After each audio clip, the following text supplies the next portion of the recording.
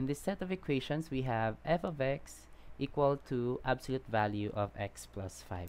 When you say absolute value, it's the distance of a certain coordinate from 0. So remember, there are no negative distances, which means that the resulting here is always positive. What we're going to focus now is on the value of x. Are you allowed to use any values of x? Can you use positive, negative, or 0? If you can use any of these numbers, then therefore, your domain is element of all, all real. Which means you can use any values of x and it still it will still give you a number.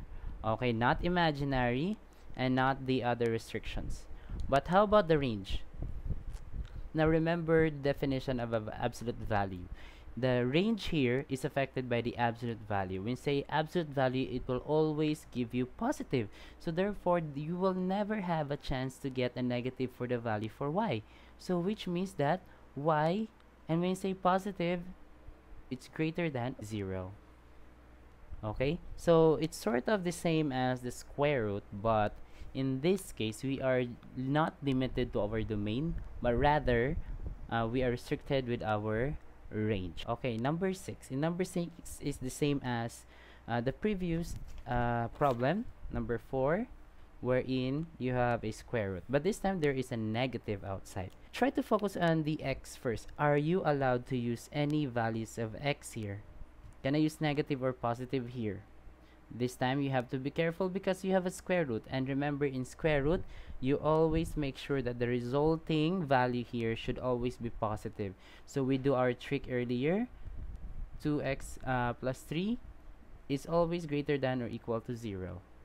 Solving for x that will be 2x greater than or equal to negative 3 and x is equal to negative 3 halves. So therefore our x should only be greater than or equal to 3 halves. And 3 halves is I think negative 1.5 while your range here will be dependent on the resulting value here. Now since we already know that the least value that we can get here is 0 you cannot get a negative but rather 0 or positive. So the least number that you can get here is 0 so our y is limited.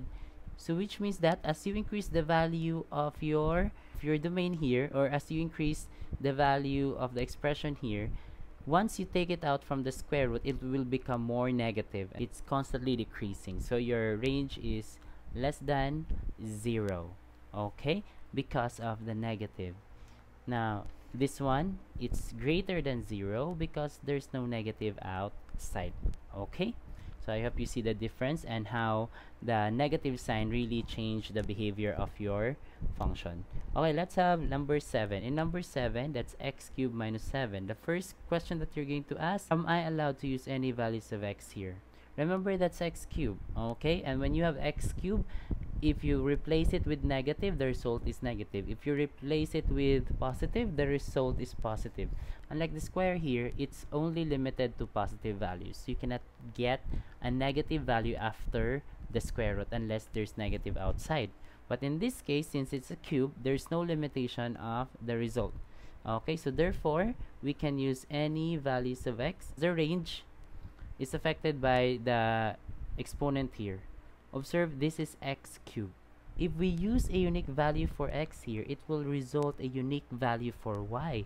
So your range is not limited. So we are allowed to get any values of y. In number 8, observe, even though there's a 2 here, we don't care about that 2 for your domain because our concern is the value of our, or the possible values of our x here. So when it's under the square root, it should be, it should always be greater than or equal to 0. So what are the values that will give you positive or equal to 0? Those numbers are greater than negative 1.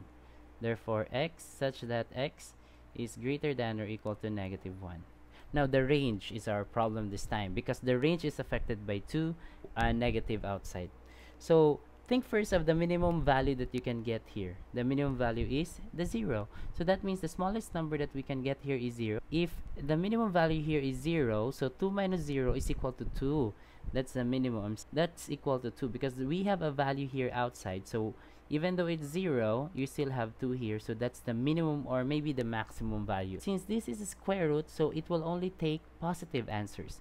And when you take out positive answer with negative weighting outside, it will become more negative. So therefore, as you increase the value of your x here, the more negative it becomes. So therefore, if it's more negative, it will be less than or equal to 2. Let's have number 9. In number 9, are we allowed to use any values of x here? observe the index. The index is cube. A cube root of 8 will give you uh, 2. A cube root of negative 8 will give you negative 2. So you see, there are two different solutions when you're dealing with cube root. It allows negative and positive to be taken out or to be extracted from the cube root. So which means that we are not limited to our domain. So we can use any values of x if this one allows negative and positive and or even zero to be extracted this means that our range now will be unique which means we are not also limited with our range value. Now let's have number 10 in number 10 we have a fraction okay? There are things that you have to consider when you're dealing with a fraction. What is not allowed when you're dealing with fraction okay? It has something to do with your denominator okay? In the denominator you are not allowed to get 0 this should not be equal to 0 when the denominator becomes 0 the solution becomes undefined. So what numbers can make this denominator 0 so you already have a number sentence here.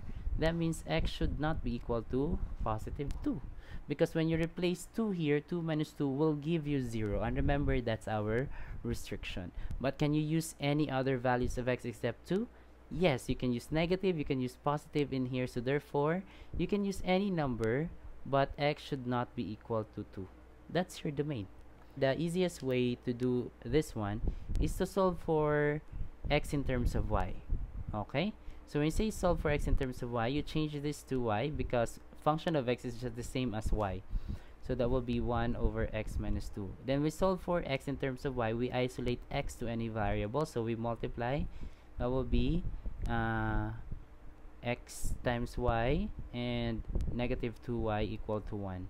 Since we're isolating x, so therefore xy is equal to 1 plus 2y. And then, in order to solve for x, divide both sides by y. So x is equal to 1 uh, 1 plus 2y over y.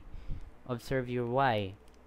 You have a y in the denominator. And since it's in the denominator, we are, we are not allowed to get 0. So therefore, you can use any values of y, but we cannot use 0 because the 0 will uh, make the solution undefined. Uh, let's try this one. If y is 0, what happens? If y is 0, so when re we replace y equal to 0, this is what happened. So when you multiply x minus 2 by 0, the whole thing will become 0. And is that equal to 1? Definitely not. So if it gives you a contradiction equation, then that means that it's not allowed. So 0 is not allowed. So therefore, our range here is that we can use any values of y or we can get any values of y but y is res restricted with 0. The domain for number 11, you always have to look at the denominator. You don't care about the numerator. The denominator is our concern because our denominator should not be equal to 0. So there, therefore, x plus 3 is equal to 0 eh, is not equal to 0. So x should not be equal to negative 3. Therefore, our domain will be we can use any x in a real number but we make sure that we are not going to use negative 3 because negative 3 will make your denominator 0 okay how about for your y so just like earlier you can solve for x in terms of y so how do you do that? You change uh, you change f of x x minus 2 all over x minus 3 you change f of x into y. So y is equal to x minus 2 over x minus 3 and then solve for x in terms of y. Xy minus 3y I distribute the y. Let's use another marker so that it will be clear so equal to x minus 2 so I just multiply this whole thing to y so since we're looking for x we have to isolate x also So that means xy minus x is equal to negative 2 plus 3y. So what am I doing here? I'm combining the ones with x. Now, uh, the question is how do you get rid of y? So remember this 2 has a common factor which is x. So therefore take out x that will become y minus 1. x times y minus 1 negative 2 plus 3y. And how do you get rid of y minus 1? You just have to divide by the expression by y minus 1. So you can cancel this 2 and uh, we should have divided it here so y so as you can see our x now our x now is equal to negative or 3y minus 2 all over y minus 1 are there any restrictions here? There is because in your y it should never be equal to 0 also.